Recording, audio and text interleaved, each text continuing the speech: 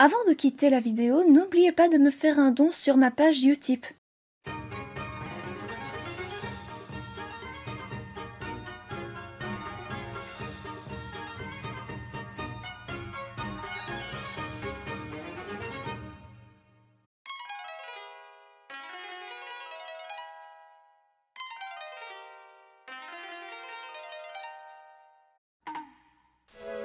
Salut à tous et bonjour à toutes, c'est Onaku. Aujourd'hui dans ce deuxième numéro du hashtag Novembre Shoujo, la review est consacrée à Mio par Nami Akimoto aux éditions Kana. Pour le synopsis, Mio est une jeune fille de 15 ans qui vivait ses derniers instants à Paris car ses parents ont décidé de retourner vivre à Tokyo au Japon. À quelques jours du départ, Mio a essayé de faire sa déclaration à son ami d'enfance dont elle est secrètement amoureuse, Nicolas. Lorsqu'il arrive devant elle, Mio fit une chute de tension et s'évanouit. Quelques jours plus tard, après de s'être remis de son rhume, Mio arriva dans sa nouvelle école à Tokyo et fit de nouvelles rencontres avec Eiji, le garçon qui taquine toutes les filles de l'école, et un certain Shiro, un curieux garçon passionné de musique.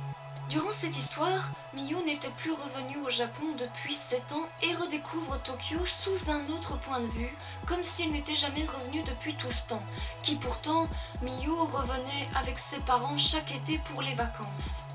Aussi, Miyu, durant cette histoire, va aussi être bousculé par ses émotions et sentiments pour plusieurs personnes. Et le fait d'être partagé entre la qualité de vie qu'il y a à Paris et la qualité de vie qu'il y a à Tokyo, dont laquelle elle peine encore un petit peu à s'adapter dans la grande mégalopole.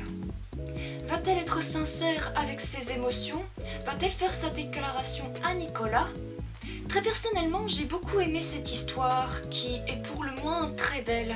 Alors, ce manga est un one-shot, il n'est plus commercialisé aux éditions Kana. Toutefois, je trouve que ce manga est vraiment très bien.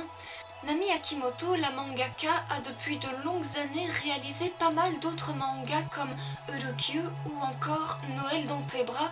Et Mio, j'ai trouvé qu'il était vraiment très bien. Et la fin m'a beaucoup plu aussi. Merci à toutes et à tous d'avoir regardé cette vidéo jusqu'au bout. Si elle vous a plu, n'hésitez pas à y mettre un petit pouce bleu, de partager la vidéo sur les réseaux sociaux, d'écrire un commentaire. Je serais curieuse de connaître votre avis sur le manga en commentaire.